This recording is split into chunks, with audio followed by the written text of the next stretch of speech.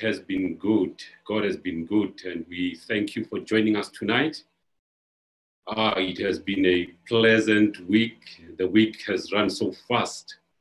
Monday, we had a beautiful time with the Lord when we were tackling a beautiful topic God and my type of family. And on Tuesday, another beautiful topic single and thriving, to have a word of prayer the TESDA church elder, Viwam Chonchi. She's going to be the one leading us in prayer. Elder Mchonchi, can you lead us in prayer, please? Thank you very much, uh, Elder Mbinga. Let us uh, close our eyes as we pray.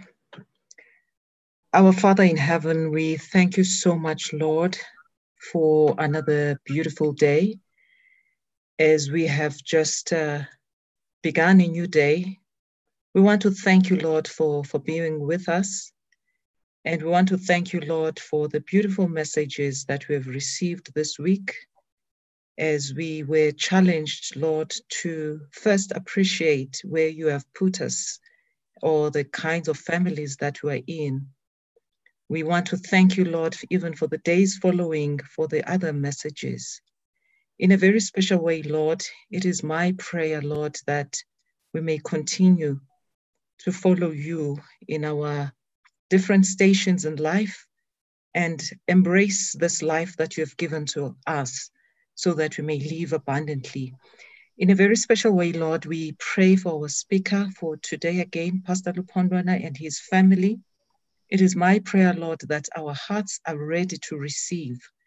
And all of the participants, all of us who are listening today, we are praying, Lord, that we are changed as a result of this. We don't just get impressed because of the beautiful uh, message we're receiving, but we repent. It's my prayer, Lord, that you bless the people uh, listening today and those who are going to listen in the future, for we know, Lord, that this is going to be a permanent record. Thank you, Lord, for answering our prayer, for we pray in Jesus' name. Amen. Amen. Thank you, Mdala. Thank you for, for the prayer. Yesterday, due to some technical glitches, we did not have a special item of music. But friends, let me assure you today that we are ready. And uh, the Kunene family, Gugu and Lindelani are ready to bless us with a beautiful and powerful item of music. Over to you, the Kunenes. And immediately after the Kunenes, the next voice that you will hear is that of Umfundisi Ulupondwana. Umfundisi Ulupondwana, please, immediately after this uh, presentation, you are welcome once again. You have been a blessing to all of us. Immediately after the presentation, you take over. You don't need any introduction now. Over to you. Can you?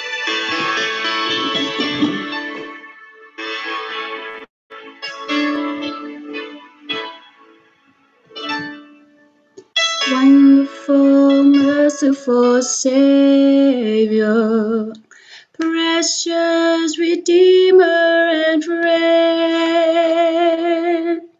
Who would have thought that a lamb could rescue the souls of men? Oh, would rescue the souls of men. Counselor, comforter, keeper, spirit we long to embrace. You are our hope when our hearts have hopelessly lost the way. Oh, we hopelessly lost away. You are the one that we praise. You are the one we adore. You give the healing and grace. Our hearts always hunger for. Our hearts always hunger for. Oh, Almighty infinite Father, faithfully loving your own. Here in the weakness you find us, falling before. Are we falling before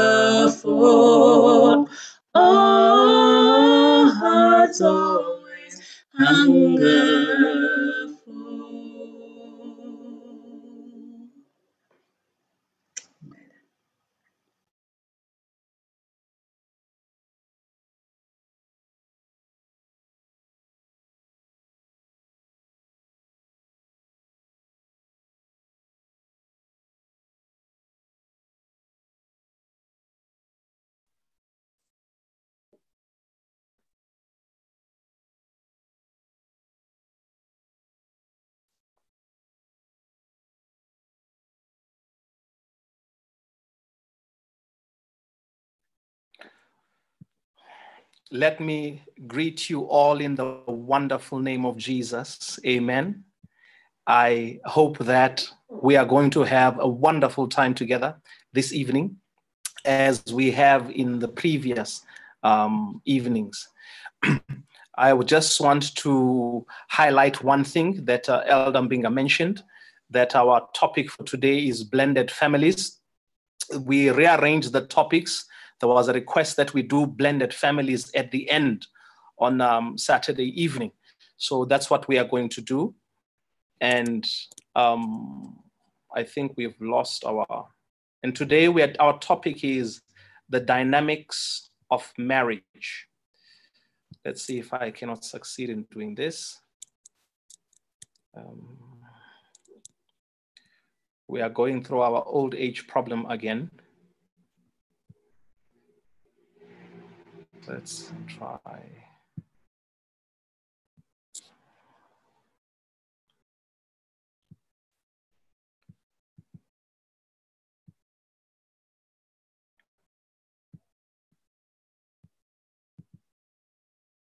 Yes, I think uh, we may have arrived at our destination. Today we are dealing with the dynamics of, of marriage. And um, the, the, the dynamics we are going to be dealing with before we, we get into the dynamics themselves, it is important for us to remember that um, God is the one who created marriage. He's the one who created it. But there are certain things that God did not outline about marriage. First of all, one of the things he did not stipulate in scripture is why people should get into the marriage. He told us what the marriage can do. The marriage, um, the, the, the idea of the marriage, people being married, coming together, being fruitful and multiply, filling the earth and subduing it. That's what they were going to do as human beings. But some of the things that were not mentioned was why people should get married. Um, as a result, we, we have a number of reasons why people get married. For some people, it was a childhood dream. They always wanted to get married. In fact, I think uh, the people who generally fall in this category are the wives, the brides on the wedding day. They, they've, they've always had this idea of a marriage. In fact, I discovered that they even have a, a picture of a wedding. They have an idea of the wedding. They have a picture of the groom. They have a picture of a lot of things. It's just that the groom in their mind, in the dream, does not have a face. And so when you come along, they just take your face and attach it to the dream that's already there. So the dream has already been, there's always been there. The dress has always been there. Everything. I remember speaking to one young lady um, who, who said that she's just a, a groom away from getting married. Otherwise, everything else is sorted. She knows where she wants to get married. She knows she already has the venue. She already has the decor. She already has the outfit he is going to wear. She just needs him to rock up and be willing. That's all that she needs. And so, for some people, this is a childhood dream. They've always wanted to get married. They've always wanted to have a, a, husband. They've always wanted to have a wife. They've always looked forward to having a family. This is the picture they've had since childhood. So, they get married because they've always wanted to get married. They, that's it. They've always wanted to get married, and, and now it is happening. For some other people, they get married because they want legal sex uh, especially people who, who, who, who are spirit, uh, communities of faith.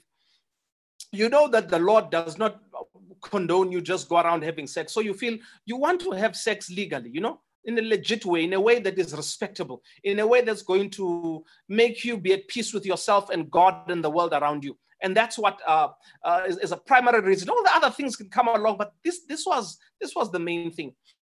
For some people, they get married because this is the best way they feel they can parent their children. They believe that to come up with a home uh, where you can raise children and raise them uh, in, in, a godly manner, it's the best shot you can give for children. Does not mean that if they are not in a home where there's a husband and wife, they're not going to turn out well. It simply means that the person believes that the best shot you can give your children is to put them in a home where the two are married and the children grow up in a, in a, in a home like that. That is uh, that is one of the reasons why people get married. Others fall in love. Others fall in love. And sometimes you find that people who said that I'm not, I'm not the marrying type, I'm not interested in marriage, I don't want to get into those things. Boom, one day they fall in love, and next thing they're sending you wedding invitations. Now you must budget to attend their funerals. Why? Because they're in love they're in love they met somebody and they felt i want to spend the rest of my life with you and that's one of the reasons why uh, people decide to get married others want companionship the love thing will come along it'll come along and it's it's it's it's fine if it's there or if it's not there. They just want someone they can share their lives with someone they can talk to at the end of the day someone to do stuff with someone to go places with. They want a companion. They want someone they can they can uh, they can grow old with uh, someone who's who they can shuffle their slippers later later on in life with. They want someone they can travel the world with and see the world with. So so they basically want a partner in life. That's that's it. That's what they want. Others they want status. Being married comes with a status. I remember someone says, I do not want to die before I become Mrs. Right. They want the status. And, and in some of our cultures, we, we consider men to not be fully, fully, fully, fully developed if, if, if they're not married yet. As a result, when we are discussing certain things, even though they may be older than us, they are not involved in certain discussions because they said, we simply say, and it's as if the person has less to offer because they're not married. And so sometimes marriage offers a status. It offers a certain status even in church. And funny enough, in our culture, uh, you'll find that we, we tend to give respect to, to, to a married woman who's 25 than to a single person who's 40. And it doesn't really make sense because we are big on we are, we are big on age. But, but that's what seems to happen. There's certain status that comes with being married, not just in the community, sometimes in church. Sometimes it's just that you feel that uh, you know you've always wanted to, to have the title, and so and so and so you have it. And sometimes people get married because it makes financial sense I mean, this is upward mobility financially. You're marrying someone and you figure out if I marry with this, if I marry this person, my life's gonna turn out well. I'll probably be uh, taken care of. I'll be able to afford a lifestyle uh, that I can't afford currently. And so people marry. They marry because they want a better life. They want a better quality of life, and they feel that the person they are marrying may be able to deliver that quality of life. In the past, this was largely something that was um, a stereotype for women. We, they were the ones who were said to marry for, for money. Huh? Uh, things have changed. Now everybody marries for money. Men marry for money. I mean, everybody wants to marry well at some point, and then they feel that okay, fine. And just that depends what the well is. For some people, that well is financial. And so today we even have guys who feel, well, okay, I think if I marry her, she'll be able to afford the lifestyle that I want. So some people marry for money. Other people, it's peer pressure. Everybody around them is getting married, and they feel, well, why not?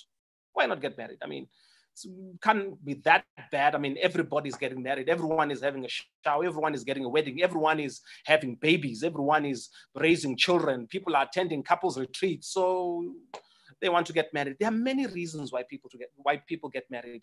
And the, one of the interesting things is that we don't quite have a wrong reason. We have reasons that we do not hold um, in high regard true but we don't really have a wrong reason to get married. Well, unless you're trying to kill the person, well, that would be a wrong one. But generally, we, we don't have a wrong reason. You can't say someone who married for money, married for the wrong reasons. There's no right reason. Um, because in the past we've done this. It's just what we've put it in a nice way. We've said you marry someone who's going to provide. No, it's basically money. Um, we, we, we can't even say that uh, you can't marry for peer pressure. Well, parents have been doing it all the time. They'll tell you people your age are getting married. And then somehow that's supposed to be a, a, a something that um, spurs you on. So we've had different reasons why people get married and and and and there's no right necessarily there's no right reason or reason that's holier than the other reason but this is the interesting thing sometimes when two people get married and their reasons are not synchronized or they are not aware of each other's reasons the, the, their expectations will be different and they will not be able to meet each other's expectations because the, the other one was not into this for the same reasons that you are in. For example, let's assume someone, one of you marries for money and the other one marries because um, this, this, this, this is, they, they, they want to fall in love. All right. So two people, one for money, one for love. One has fallen in love. And the one who's fallen in love is expect you guys to have this romantic marriage where you are doing things together. You go to church together. And probably sometimes you might even have some matching outfits where you talk, you know, you spend time connecting, you read books about marriage, you go to retreats together, you try and uh, have dinner, date nights together. You are doing things together. You're just supposed to be a couple in love. So this one is really looking for that, looking forward to that. That's their vision. That's their dream. That's what they want to see because they feel, I love you. You love me. This is going to be a wonderful journey together. And you feel, I think you should be working a lot because um, I'm into this for money. Now, the problem is this. You are not interested in having this money blown on on date nights and those things. You you want to have the money. There's a certain quality that you want. I mean you want certain clothes. You want certain uh, brand names of bags and shoes or even cars if depending if you could be a guy or, or suits. And so you find that this person's concept of love is just slowing you down. You're not interested in all these other things because this is not why you got in here. And so sometimes you can it, it can appear as though there is a conflict uh, uh, different views of marriage, different conceptions of marriage. Well, true, because you did not get in for the same reason. You you're not here for the same for the same reason. You both are married there, and it's true that you may love each other, but that's not your primary concern. Somebody else may want companionship. You just want someone to spend your life with. And the other one is busy asking you, Do you love me? You're like, But what does that have to do with anything? I'm, I married you, didn't I? You're like, Huh? So, in other words, you're in this marriage and you don't even love me. That one is like, It doesn't matter. I'm not going anywhere because this one wanted companionship. So they, they don't really prioritize the fact that, well, I love you, you don't love me. That's immaterial. I'm here because I want to be with you. I want us to share our lives together. And the other one feels unloved and you find them having a problem. How do you survive a marriage where there is no love? Well, you have the love. The other one is into this for companionship. Sometimes you marry someone who just wants to raise kids well um, and you feel that this person wants to you to be a good family that raise children well, and the other person is here because their peers were getting married. Now you're in this thing, you're trying to come up with a marriage that wants kids, and the other one's like, really? Oh, Lord, you know, just let's just do it. If you want to do it, you do it. Don't really involve me in all the other nitty gritties. I got into this thing because others were in it. Now you want me to put effort that's a completely different thing because this one got married because other people are getting married. Now they are in, and it's like, yo, they may not necessarily be into the effort. They might, they might really not be into the effort. And so it's important that when, when two people are married, they, they discuss it. Now, it's important that when you discuss it, you start by understanding that there is no holier reason. Of course, you can say, well, maybe love is a holy reason not, not really. For, for generations, people married and it had nothing to do with love. I mean, Isaac did not even meet Rebecca. He met Rebecca when she was already engaged to him. Uh, Eliezer went and negotiated, paid Lobola, brought her back. Isaac saw her and was told, by the way, this is Rebecca. Who is she? She's your wife. Oh, yes, Rebecca, this is Isaac, your husband. Nice, nice to meet you. That was it. There was no love there in that story, but people got married. So that I, because the Bible has never prescribed that you get into the marriage for love, you can't require that the person may have wanted to marry you because of love. What the Bible does say is that once you are in, then God commands this one to submit and the other one to love. That's what happens when you're in. But coming in, it doesn't prescribe what reasons you're going to have. It's just that the Holy Spirit is going to give you a, a way of making sure this marriage succeeds. Now, when you're going to have this discussion about, look, what is your primary thing in this marriage? Uh, of course you may be tempted to, to you may expect that the other one is going to say love.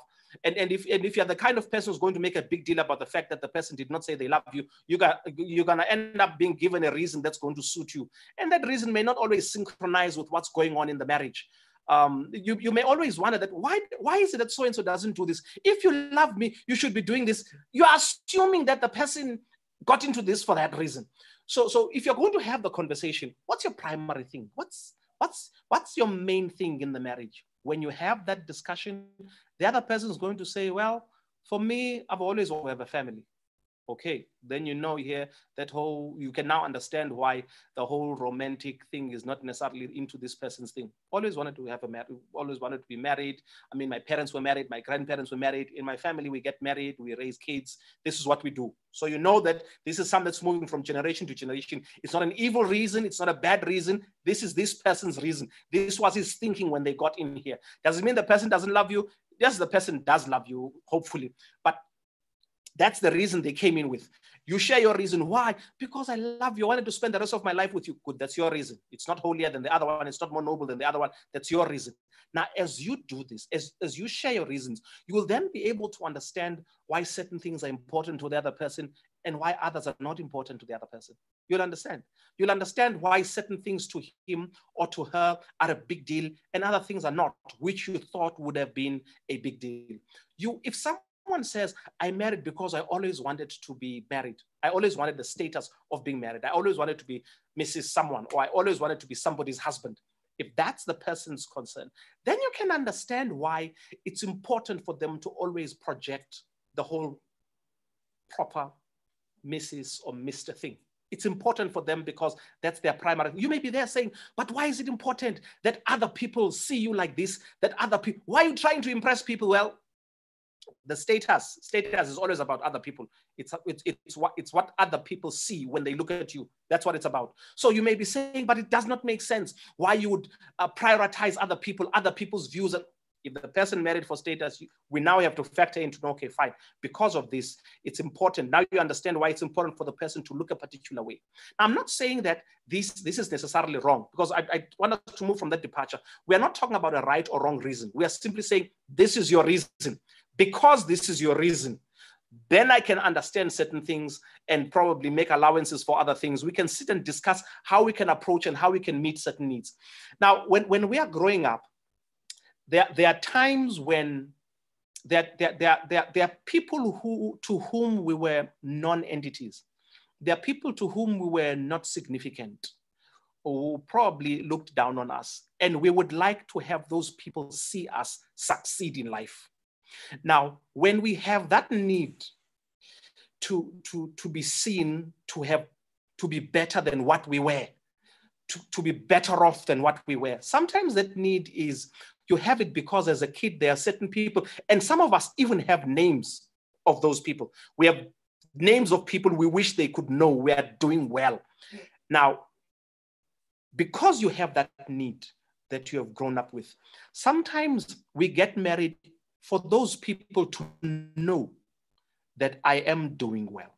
For those people to know that I am having a great life. For those people to know that I am happily married. And sometimes that need is satisfied by us posting a completely different life on social media than the one that we have. Some people need to see it. We need to dress in a particular way. Whether or not we can afford it or not is different because we are trying to become significant to those people. And unfortunately, you can never be really satisfied. It's going to need some form of therapy or for you to just acknowledge that it's a need that you have and it may not necessarily be satisfied.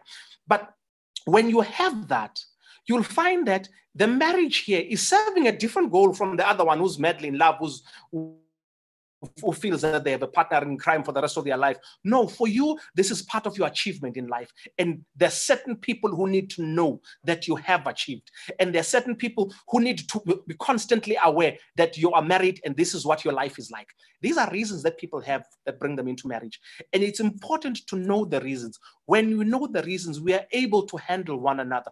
We are able to build a life together. Now, when, when people do get married, there, there are risks that come with getting married. And I'm just going to mention two today, and then we are going to be, then we'll be able to move on. The first risk is that two sinners marry. First risk uh, in any marriage, two sinners marry. And then there's a photograph of myself and my wife. We were very young at that stage.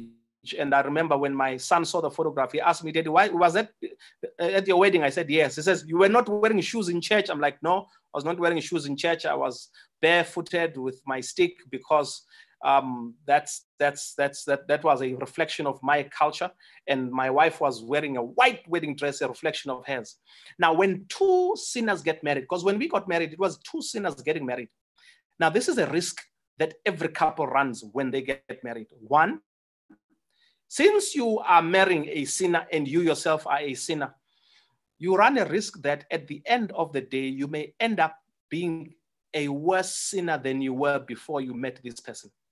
Before you got married, you were a sinner, but you can end up being a worse sinner than you were before.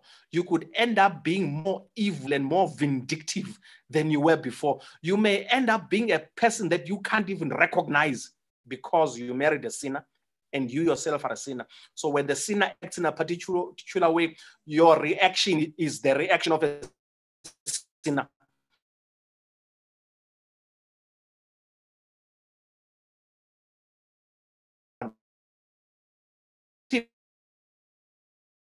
with it that we may end up being better people or we may end up being worse people. And, and, and for some people, for some people, marriage has become a nightmare. It has. Also because when, when, when, when they got into the marriage, they did not expect the other sinner to, to really be a sinner to them. Even when we when we get married and we do in in in in in good times and bad times.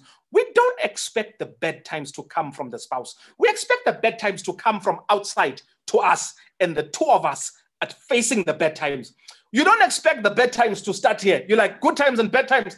I did not expect this. For I expected your sickness and my health. Okay, maybe maybe my sickness and your health will be together. In sickness and in health, yes. You know, for richer or poorer, yes. And the rich, the poor must be must be because of COVID 19, you know, must be because of a pandemic, because of a problem, not because you squandered the money. It, it, must it must it must be a threat that comes from outside.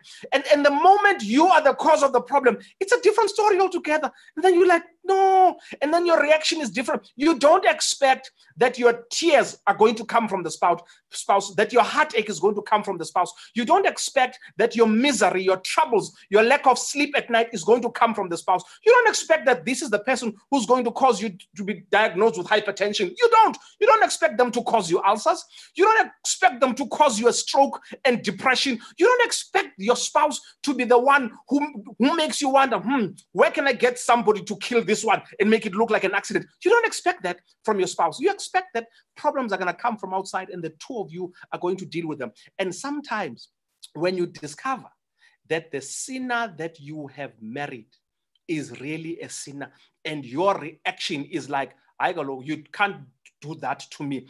And you give them a response that is equal to what they have done. As you match each other's evil, as you match each other's sinfulness, to try and fight to show the other one that two can play that game, you can end up being a worse sinner than you were when you were single. That's a risk you play. You, you, the risk you run when you get married. Or marriage can bring both of you close to God. It can make both of you realize that you need the Lord and you search Him and you get Him to, to, to give you guidance. You follow the guidance as much as possible and you discover that marriage is one of those relationships in life that test your, your, your faith every day. Te- it's marriage and parenting, they test your faith every day because you can't get time off. You're always married, you're always a parent. It constantly seek him and ask him to forgive you and you start over. And because you're married to a sinner if you are if this thing is if you're going to end up closer to the lord you are going to need to work on forgiveness because you're married to a sinner which means the sinner is going to sin constantly consistently. And even when they have good intentions not to sin do you know what paul says? He says that which i want to do i do not do and that which i do not want to do that's what i find myself doing that's what Paul is talking about. And guess what? Sometimes the people we are married to, you tell them, you must do this and say, but I wanted to do it. And guess what they've done? They've done the things they did not want to do. And the things they wanted to do, that's what the stuff they did not do. And you look at them, you're like, whoa. And they ask for forgiveness. They ask for forgiveness. And if things gonna work, we forgive. And sometimes we wonder, really, Lord, how many times? And sometimes we're able to say, Lord, I've done the 70 times seven. I'm at 491 now. So I think we are sorted. Now I can afford to do this we, we, we, we, we, we, we are going to spend the rest of our lives with someone who is a sinner, someone who, who has fallen short of the glory of God. And unfortunately, it's part of their DNA. The sinning thing is part of the DNA. Sometimes they, they don't even need to come up with, with grand ideas of how they're going to do it. No, sometimes they just do it and they find themselves having done it. And we forgive, we seek to be better. Now, the risk that every couple runs of either turning out being a worse sinner than you were before or being closer to what God intended is a risk that we all run. And it's you choose. You have a capacity to choose how you want to end up. And, and I want to say, because of the different challenges that we, we face in marriage, we don't usually say this enough, but I'd like us to mention it. Marriage is holy. Your salvation is holier. Marriage is a wonderful thing, but your salvation is even better. We would rather that you be in the kingdom and having had a marriage that did not work than for you to have survived and tried to live through a marriage and miss out on eternity. I say this because the church's primary business is salvation. And that's where that's where our concern is. And so we we, we would rather, if, if push comes to shove, we would rather you prioritize your faith. We would rather you prioritize your relationship with the Lord, even, even above your spouse and above your marriage. God always comes first, and your salvation is primary. The first risk we run is that you have two sinners who are marrying. And because these two sinners are marrying, one may end up, you, you run the risk of either turning out to be worse, a worse sinner than you were, or much better than you were before. The second risk we run is that in the quest of becoming one, of the two becoming one, you run the risk where one of you will be dissolved into the other, and there'll only be one person left. There'll only be one person doing the thinking, and the other one simply implements. There'll only be one person whose dreams are being fulfilled. The other one is simply playing a supportive role to the fulfillment of that dream.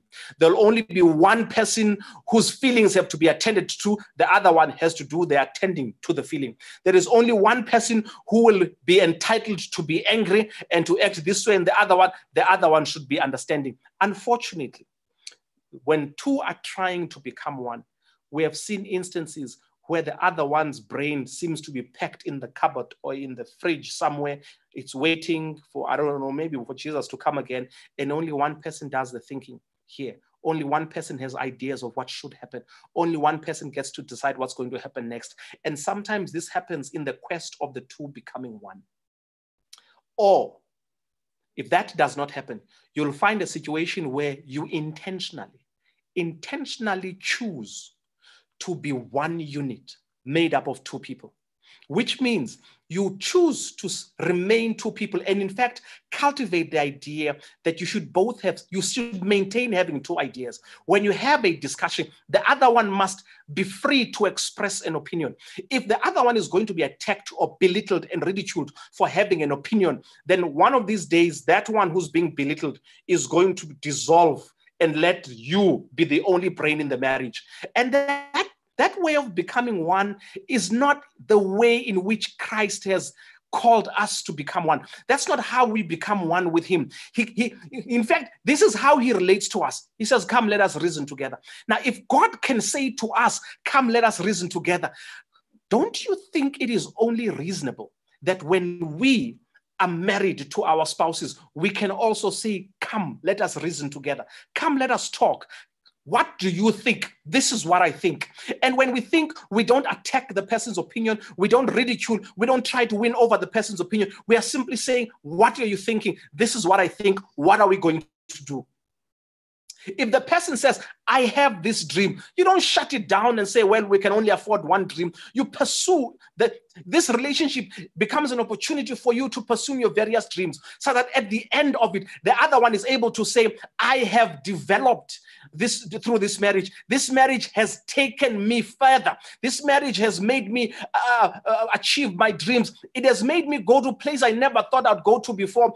We are one unit, but as much as we are one unit, we have remained two people. If you are an introvert, the other one is an extrovert, you don't have to attack the other person as why are you always talking? Why, why, why? You just come to understand that my spouse is the one who, after church, is going to spend 45 minutes greeting everybody. My spouse is a social butterfly, moves from this person to that one, this person to that one, this person to that. When they eventually come into the car, if you're going to explode and say, I've been sitting here waiting, and yet you met them as this social butterfly, you married them as this social butterfly, you are trying to make them to cease to be who they are and simply collapse into who you are.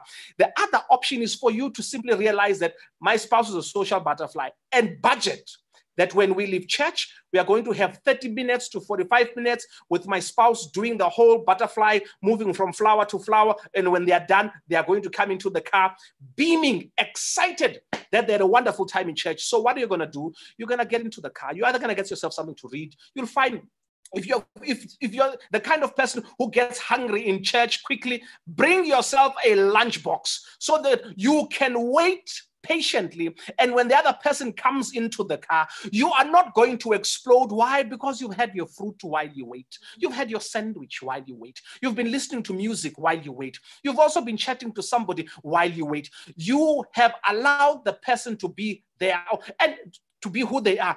And if you are the one who who is outgoing for heaven's sake. Don't force your quiet spouse to greet a million people. They don't want to greet a million people. They're not being nasty. They're not being antisocial. They just don't want to greet a million people. They want to wave one wave, and this wave should cover everybody. Look from this side to that side. One, two, three. They've greeted people three times, so they're not going to make it intimate. If you want to go and check how each one is and ch- check how their parents were, how their weeks were, you do. You do your stuff. You go, they did the wave. You go do the whole reporter thing and take down notes, come back. When you meet in the car, you are satisfied because you greeted your million people. They are satisfied because they waved. And the wave is not unholy. Hi, happy sap. That's it. Why? Because it's not them to greet everybody. So the, the other, the, the, when the two try to become one, it's either one is going to dissolve into the other or and become one person literally in terms of brains, ideas, everything, character.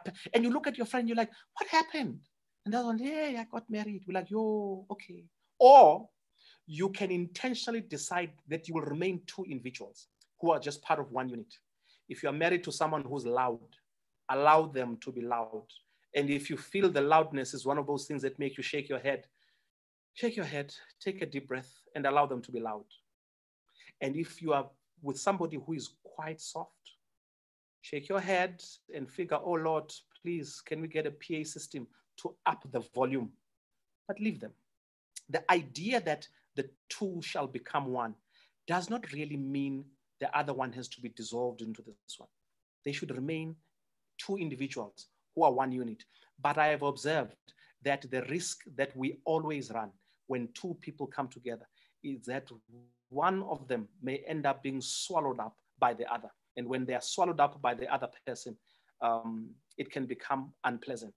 Now, in dealing with people who've got the, the dynamics of being married, uh, they vary from, from different stages in our marriage. In, in our early years, um, we, we start out shortly after we get married, and the major challenge we have is adjusting. And, and this is an adjustment that happens everywhere. It happens when you start a new job. It happens when you join a new church. It happened when you had siblings. It happens every, every time you come to a new environment. You adjust. This is who you are. This is how you do things. This is how the other person does things. And you are trying to find a way that works for both of you. This process of trying to adjust, this process of trying to make sure that that that that you first of all are, are, able to share space together. Because remember now that you're married you're sharing a bedroom together uh, which means your your cleanliness habits come into a play come into play. One of you may be quite neat and the other one not so. And because you share the same space it's the same bedroom. You you the, the, the other person's uh, lack of neatness is in your face. It's in your face. Sometimes you may even be sharing your, your ensuite bathroom and you find that the other person's lack of basic hygiene is in your face. It's not something you can decide, you know what, I'm not going to pay attention. It's in your face. The other person's comfort with making the bed in the evening before they get into it and not in the morning it's in your face because you share a room. And because you share a house, you still have to figure out that this person thrives at night. They watch television until 2 a.m. and they sleep, and you must be there and you enjoy the no- enjoy the noise. And, and you must try and find a way in which they can do their late night thing and you can do your early thing. The process of adjustment is natural. We all try to find a way of adjusting to living with somebody else. And that is okay. And that process of adjustment is going to come with a lot of fights. It comes with a lot of fights. Why? Because usually we think that our normal is the other person's normal. So we fight. We fight over these things. And these battles are battles. Initially, you are trying to change your spouse and make them more like you you are trying to change them to get them to think more like you and it's fine and sometimes and sometimes we feel if they can just change this one little thing because sometimes you may feel that my spouse is wonderful. Oh, oh my Lord. Oh, if you could just handle the issue of cleanliness. Oh, oh, if you can just handle the issue of cleanliness, we could be fine. And so you fight over the cleanliness because you're trying to get the person to improve and they're not improving. They, they, they're not improving. And you keep on fighting.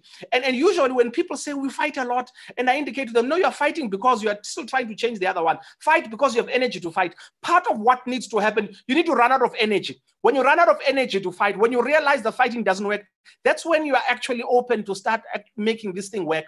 For as long as you still have energy, you still feel that I, I can tweak the person. I can, I can, I can, I can change this person. I can, I can just, if they can only just do this, they would be perfect.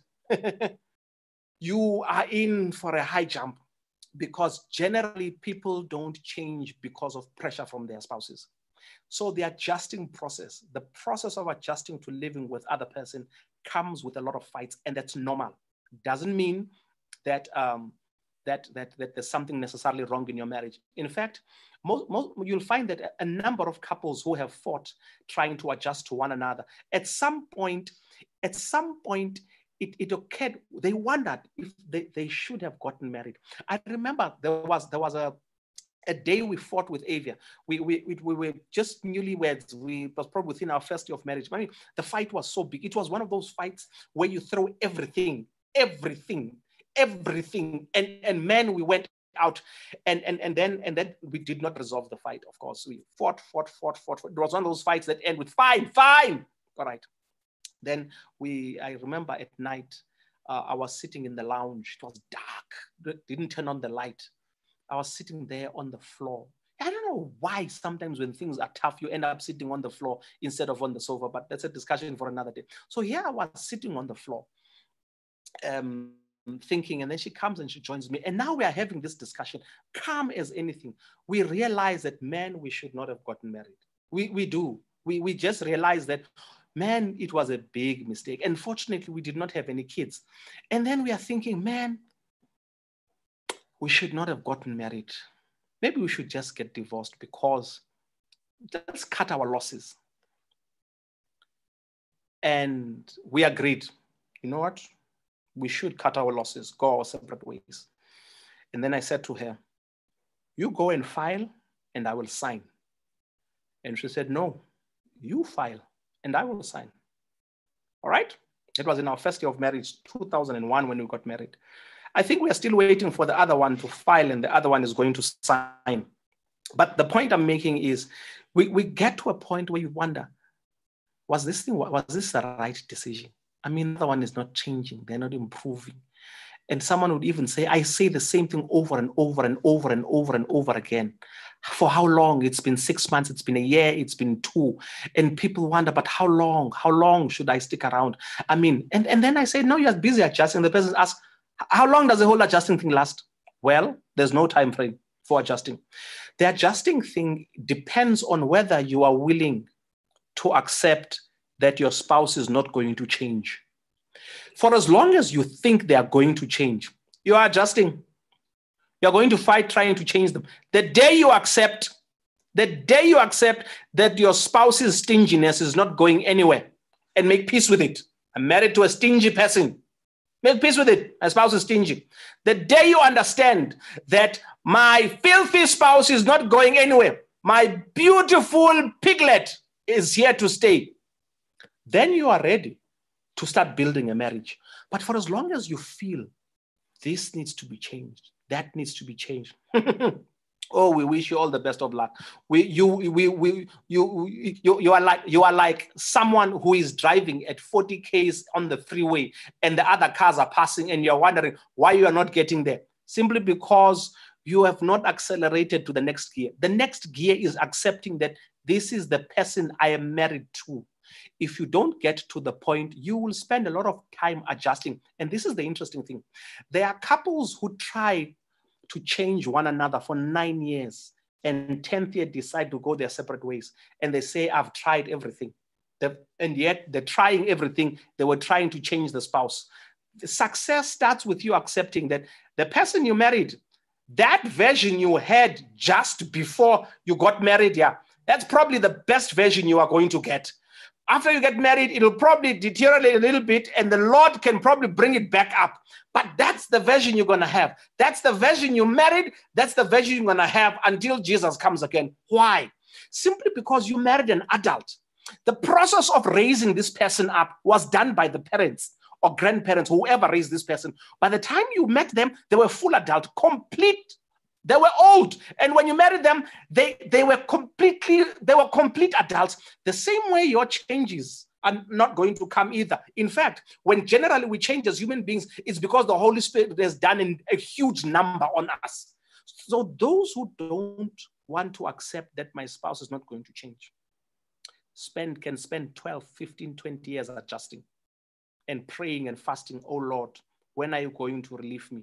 Relieve me. There are certain things that can change. Things like uh, my spouse drinks, um, things like my spouse may be reckless with money. That can change in terms of degrees, but spenders are spenders and savers are savers. Um, and, and, and, and that's it. But, but first thing is you don't expect your spouse to change. The, what you do is to say, how are we going to make this work? Now, once you say, my spouse is not going to change, that's when you start saying, let me try and understand them. Once you say, let me try and understand them, you're trying to figure out a way of living happily with this person. That's finding each other. And hopefully it happens at the same time. Because sometimes you'll find that one is trying to find the other, the other one is still trying to change you. Problems. But once you decide, okay, fine, we're two adults that are most likely not going to change. How do we make this work? And then in the process of understanding and finding each other and realizing, oh, this one, when they have money, they usually look around for things to do with the money, which means we must, if we are going to save, there must be a debit order. If they get paid on the 24th, the debit order must run at midnight. Or they get paid on the 25th, it must run at midnight, or it must run on the 24th. So by the time the salary comes, there is already a big hole. Boom, the debit order comes in. Because once they see the money, they will find something. So you, you, come up with mechanisms to deal with this person. Because remember, you, the other one is not is not the simple, is not the simple, uh, is, is not the only one who, who requires things to change. There are certain things that have to be done to deal with your issues as well. Remember, we said both of you are sinners. Both of you are sinners. So, so, so you the process of saying, okay, this is how I can I can be able to live with each other. This is how we're gonna live with one another. This is how we are going to accommodate. If you have a problem with cleanliness and the other one simply does could not care, maybe the solution, if you don't want to be the one cleaning, is to hire someone. Other than that, if you feel I'm not going to hire somebody, people I'm, I'm married to an adult. Hmm, you are going to be frustrated. You're going to end up in one of those institutions needing a week just to distress. So I would say if it, the cleanliness issue bothers you, you either handle it yourself or get someone to do it. Why? Because this is what you have. This is what you've married to. Now, the process of saying, okay, fine, I understand this is how we are going to do it. And you that's finding one another because you've already accepted that my spouse is here. This is the template I have. This is what I'm working with. Now, how do I work with it? In the process of doing that, you develop your own rhythm. You develop your own system of saying, this is what we do. This is how we do it. And this is how we take care of. In fact, you'll find that you even get to realize that when this one is angry, this is the response that works with that anger. And they get to realize that when you are irritable, when, when, when, when it's that time of the month and you have your own issues, they realize this is how you handle it. Initially, they may have thought of ignoring you, and then they discover the ignoring thing does not work. Maybe I should say something and, and absorb a few nasty responses. And then, of course, she's going to end up appreciating the fact that I tried, even though I did not succeed, but it's a thought that counts. Whatever the case may be, you eventually find your rhythm to say, okay, fine, in this situation, that's that's the goal. Okay, fine, this is this is how we handle one another in our day-to-day life. That's developing your own rhythm. You, you, you, you, you, this new rhythm is a rhythm that is a combination of things that you both like, trying to exclude the things you don't like, coming up with things that work for both of you. And the important thing is when things come up, resolve them. I say it because when people get divorced, after 22 years and you ask what happened, they will always trace it to the early stages of their marriage. Some could trace it to just before they got married. When you say to people who get divorced after 15 years or 20, I had a friend who got divorced after 32 years. And when I asked what was the problem, he went back to the first two years of the marriage. Someone gets, they decide the marriage is over. Like, what's the problem? They tell you about what happened on the wedding day. When things come up, you resolve them. Because when they are not resolved, it's not like they go away they stay there and they keep on surfacing every time there's a fight. You find a way to resolve it. Now, to resolve doesn't mean you come up with a, a, resolution that's acceptable to both parties. You sit down, you talk about it. To ignore it doesn't work. To have a fight that ends up with fine, fine, whatever, whatever, that fight does not help anything. It expresses your anger. Afterwards, you must go back and find out okay, what was the issue? How do we resolve it? It's important to resolve it so that it does not become a skeleton one day will come out and when the person says i've had enough they will pull things from 15 years ago. And the other one is like yo i thought we were done with that thing. And the other one said when you thought it was resolved what did you think was a resolution? And the one's like no we just stopped talking about it. That's not resolving. That's ignoring it.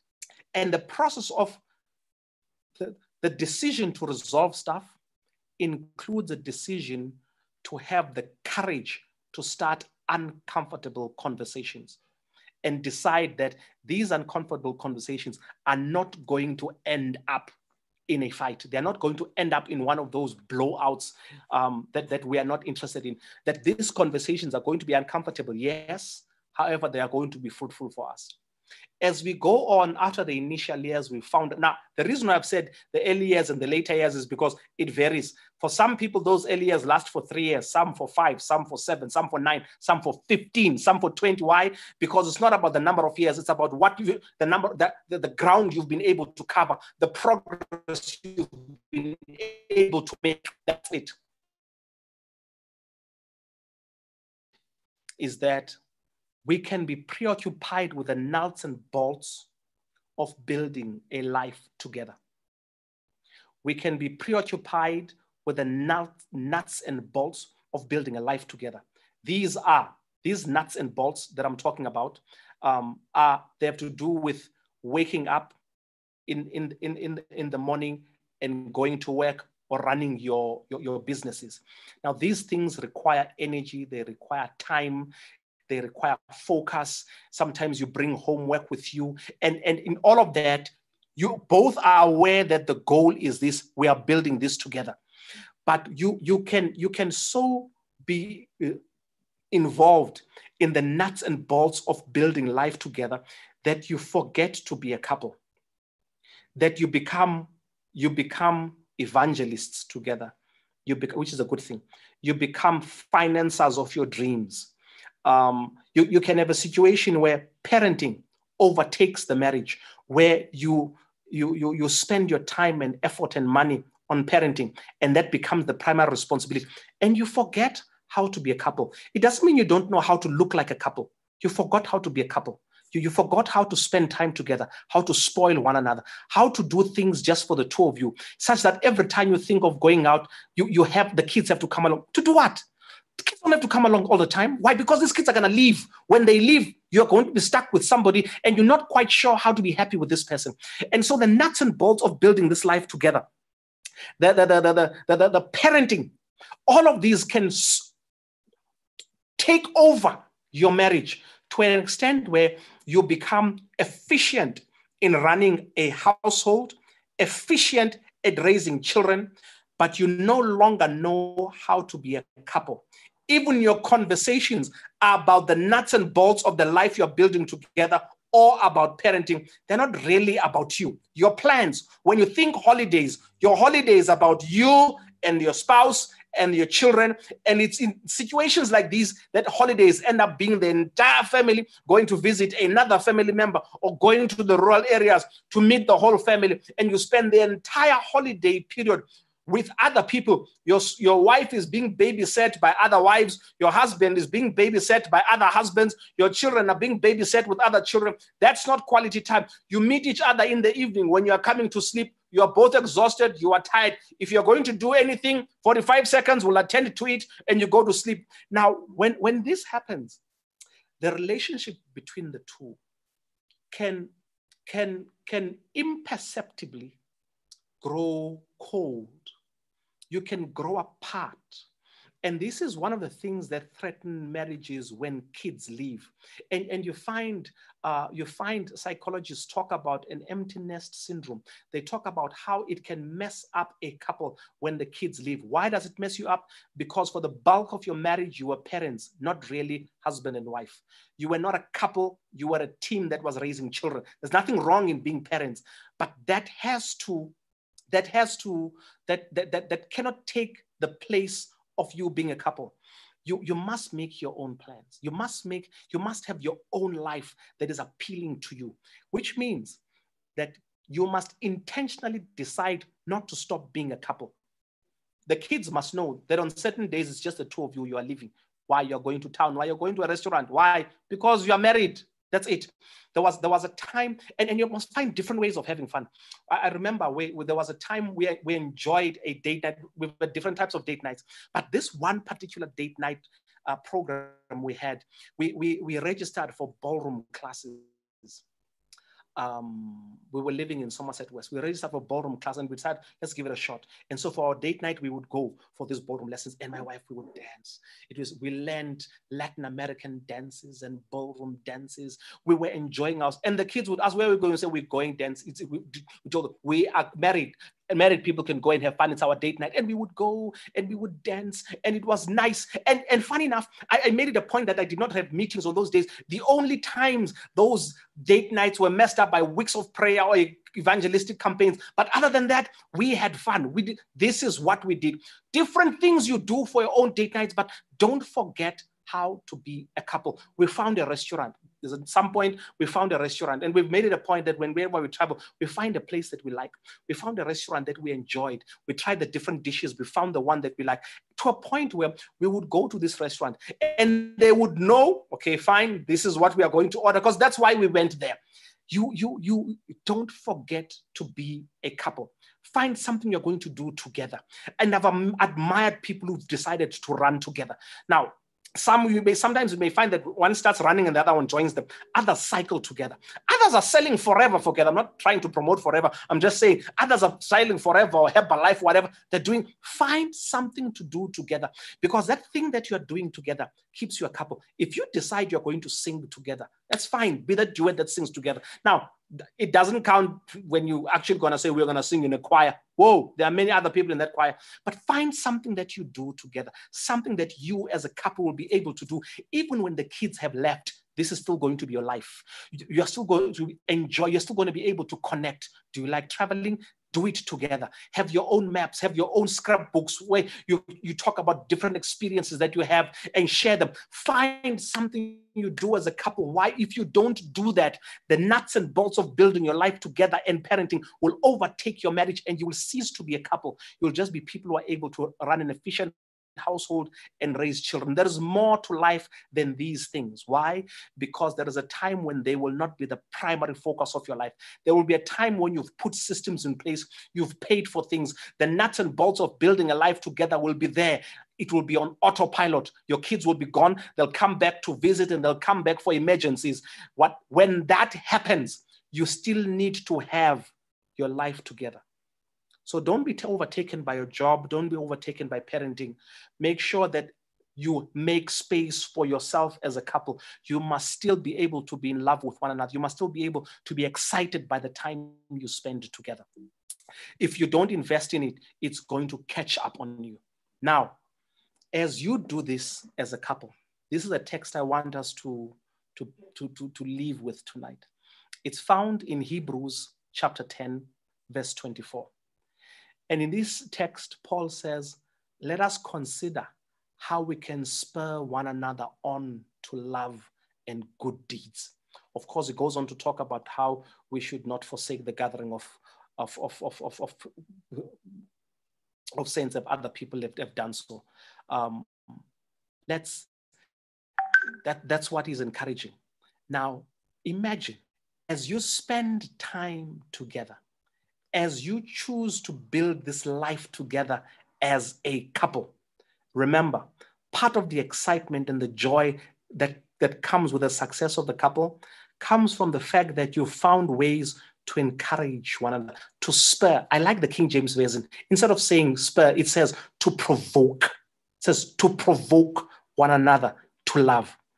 Now, it may take a while before you find the right buttons to push to get the other person to get into love, to get the other person to do good deeds. Some people don't do good deeds unless they have received good deeds first. So you'll find that sometimes you may be married to somebody who needs you to do something for them to reciprocate. Sometimes you'll find that you're married to somebody who needs to see you running with something and then they join you. They and it does not always work to criticize and attack. Sometimes you may say, but I've tried this and that and this and that. When you're not wanting to try, you know, you're not wanting to try anything. You just always bored and you know, you're making the whole marriage boring. Mm-mm. It simply means you have not found, you have not found what works with them.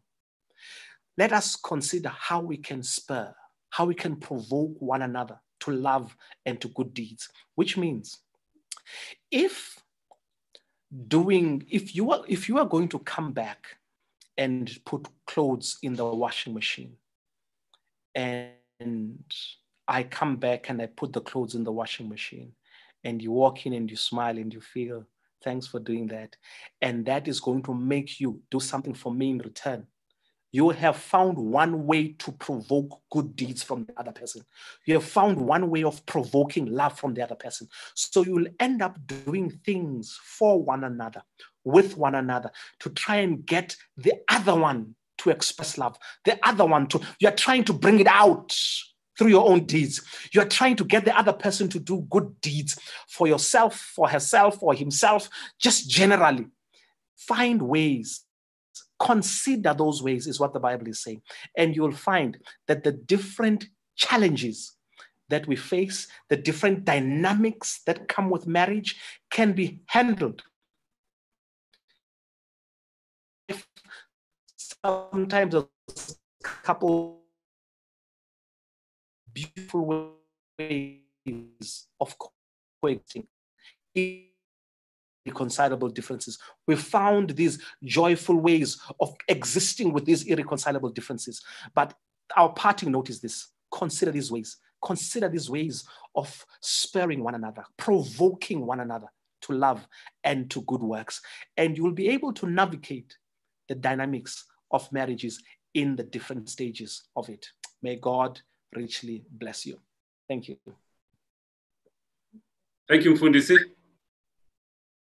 Thank you once again. The Lord used you in a very, very, I, I, can, I cannot even, words fail me, you know, and uh, as you were presenting, I actually said to myself, maybe I would, I would also try taking my wife for a ballroom dance. We'll, we'll try that one. and I enjoyed that. Oh, I enjoyed it. yeah, that, that was good. But without any waste of time, Funis, I don't want to take a lot from out of your presentation. There are quite a number of questions, and I want us to quickly go to those questions and see if we can't answer right. them. Yes, I will start by this one. How long does it, um, how long does adjusting take, Fundisi? And maybe you can okay, answer that. Sorry, mm-hmm. maybe you can answer that together with this one. They're almost the same. So Mfundis, adjusting right. is simply in simple terms, means accepting things as they are? How long does it take to adjust? And does, does that mean you take things as they are? All right. Uh, the adjusting has no time frame to it. It depends on, on, on when you get to a point of accepting. Acceptance is accepting that, that, that this is your spouse's uh, uh personality. Uh, this is the character that you have.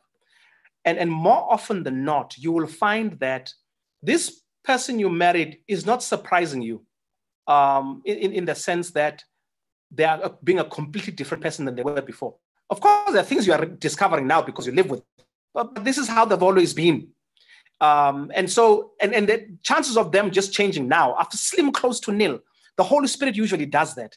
And, and, and, and, and the Holy Spirit is patient, even with us. He has taken many, many years to change us. So it, it depends how long it takes for you to say, my spouse, I met them as an adult, they're not going to change. Let me accept that this is my spouse. Now, the second question is, and, and it can range. It could be two years, three years, five years, seven years, 15, 20 years, depends. The second question is, does it mean accepting things the way they are? accepting things the way they are and accepting that your spouse is this is this is how my spouse is are two completely different things. There, there are certain there are certain things that that happen in the marriage uh, that have to do with morality, simple, clean, right and wrong, sinful stuff. That stuff people can change, and the Holy Spirit is in the business of changing that. We work on that. But the, the fact that your, your, your spouse is a spender, that stuff is not going anywhere. They're not going to change. If, if, your, if your spouse has not picked up uh, cleanliness habits by the time you met them and married them, just get someone to help with the cleaning. So there are things that are not going to change because they should have been dealt with in childhood. But there are things that have to do with a sinful lifestyle that the Lord can step in and change. So, so if you're married to an abuser, that person either needs therapy or there's a big problem that has to be dealt with. If you're married with someone who is promiscuous, that person needs the intervention from the Lord. They might even need some form of therapy, but they need intervention from the Lord. But but you'll find that generally we, we when we talk about the adjustment with the spouses it's those things you feel if only they can just do this they'll be perfect. Wonderful. Just this little thing. There's no little thing. It's a big thing. Big thing. So that's my response to those two questions. Thank you Mfundisi. how do you resolve issues if there is no communication? You can't. You need to find a way to, to communicate. And, and, and, and, and sometimes you ask why, why is there no communication um, and sometimes the reason why there is no communication is because the, the, the conversations end out end up being nuclear wars in the hmm. sense that we start a conversation and right in the middle of the conversation we start throwing not just regular bombs nuclear bombs why because you say things that you cannot unsay that are going to cause the kind of hurt that you that is difficult to recover from. You sometimes use things that we were told in confidence. In in tender moments, we throw it back at the other person's face. You know what happens in those instances? You're trying to say to the spouse, you are not someone to be trusted with sensitive information because you can throw it back at their face. So without communication, you can't resolve it. You have to find a way in which you can have the communication. And if you are trying to cultivate communication, don't try and blame the other person. Don't try and attack them. Don't try and be better to say, I'm trying to talk, you're not cooperating. That's an attack. If the person, if, if you're going to try and initiate a talk and the other person is hostile, because you are trying to establish the communication, don't respond to the hostility. The focus is that you want to uh, open up lines of communication. Open up lines of communication. Without communication, you can't resolve things. And if there's currently no result communication in your marriage, you might need the assistance of a third person because without communication, you can't resolve it. You can pray, you can fast, the Lord will keep you alive, He will give you strength, but you can't resolve the issue without communication. Thank you, Mfundisi, for answering that one. Great lesson, Pastor. But what happens when a couple is just not compatible? Try different things, but nothing works out, and one partner ends up bored in a relationship. These people are not compatible. What happens? Um, the the issue of compatibility sometimes is is is is is because we want our spouses to be like us. And where they're not like us, when they don't like the things we like, we feel we are incompatible. Let me give an example. You, you, you could be an outgoing person who likes to attend events. You want to attend weddings, you want to attend showers, you want to attend different activities that are there. I mean, that's a kind of person that you are. You are a people's person. You host people in your home. You go to visit people in their homes. That's the kind of person you are. You are with a spouse who's not interested in all of that. In that tells you, you go, I mean, I'm going to stay here. Now, it does not mean these two people are incompatible. The problem is sometimes they would say they are incompatible because you want your spouse to come along, to tag along with you when you are doing the whole social thing. And they're, they're just not interested. And you don't understand why can't they come? Why can't they make the effort? I'll tell you why they can't they make the effort. It is because small talk takes up a lot of energy. You need a lot of energy to do small talk, a lot of energy, a lot of energy. You need to think, you need to pay attention, you need to listen, you need to laugh, you need to smile, you need to giggle. It takes a lot of energy. And the person is not just, is just not into it. So sometimes it's not because the people are incompatible. It's because we want our spouses to be like us. And I would say to those people, consider allowing your spouse to be what they are and you be what you are. I'll consider creating space for them to enjoy what they enjoy and for you to enjoy what you enjoy. Very interesting thing. I once remember, I remember once I was in the presence of the Papus, and Mrs. Papa was saying, Ah, he runs, I don't run. That's it. They've created space in that marriage for him to do his marathons and his cycling. She's not running, she's not cycling, and that's fine. Doesn't mean that they're incompatible. It simply means she's not going to run, she's not going to cycle, he's going to do that. They'll do other things together, but these things that are exciting to him, these particular things, they are not her things. And that's sometimes what we need to do in our marriages create space for the other person to find the things that excite them. Once they return from those things that excite them and you've created the space and there's not going to be a fight when they come back, you will find that they're, we're now, both of us in a wonderful mood, are able to spend time together and be more accommodative. Thank you, Mfundisi. The last one for tonight. And uh, thank you, friends, for staying with us. Uh, but we'll do the last one for tonight. Trying to bring it out, you try it all and nothing comes out. It's just dry land, full of condescending and criticism all the time. How does one deal with such situation? You are going to need assistance in dealing with the cause because people don't start out that way. You did not start out that way. If you started out that way, you would not have gotten married. The reason why you got you got married is because you did not have dry land at the beginning. You did not have uh, uh, so much condescension at the beginning. There was not the much criti- the, the kind of criticism you have now at the beginning. In other words, things were said and done between the beginning and now. And they may not have been a big deal to you, or you may have thought that you've gone beyond them. But the things that have happened and the impact of these things that have happened are such that now this is what you have. You may need a third person. I would advise a therapist, I would advise a professional that you are going to sit with so that you can deal with the causes of why you have what you have now. I know it was not always like this because if it was always like this, the two of you would not have got it. That would be my advice. Thank you, Mfundisi, once again. And I think it would be appropriate to pray for our families tonight. Thank you. Over to you, Mfundisi. Let's bow our heads and pray. Our loving Heavenly Parent, we thank you, Lord, for the love that you've loved us with. We thank you for the gift of marriage and the gift of family. We thank you for love. We thank you for joy. We thank you for companionship. We thank you for intimacy. We thank you for all the beautiful and wonderful things we can get out of marriage. I pray, Father, that you may bless the families that are represented here in the screens tonight. Bless them with the presence of your Holy Spirit. I pray that you may grant them peace in their lives. I pray, Father, that you may give each and every one of our families the wisdom to seek help when we need help.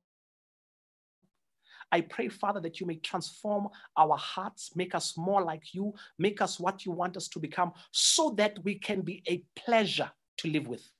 I pray, Father, that you may make it each one's business for us to make it easier for our spouses to be married to us and to live with us.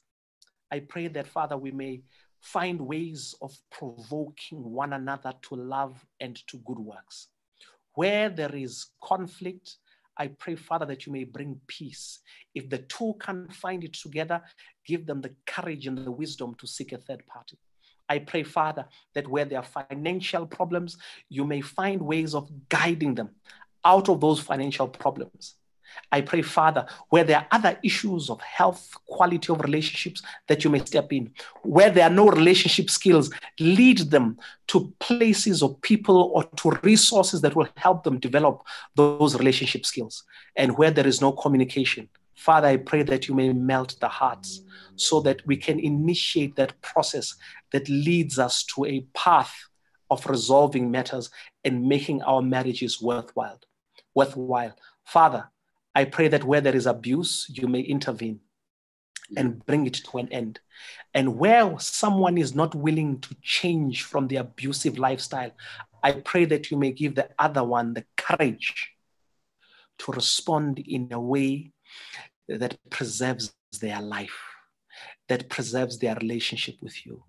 Father, we thank you for hearing our prayers. This we pray in Jesus' name. Amen. Amen. Once again, thank you, friends, for joining us tonight. Let's meet again tomorrow night, same time, same place. Blessings to you. Keep safe. Good night.